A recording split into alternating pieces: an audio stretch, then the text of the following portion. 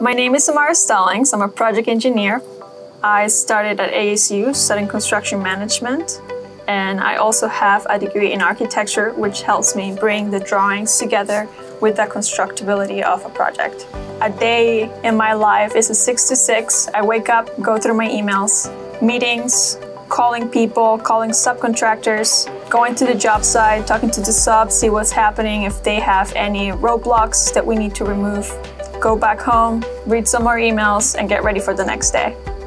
My priority is to make the project managers and the superintendent's life easier. What motivates me and gets me excited to go to work every day, it's the people that I work with.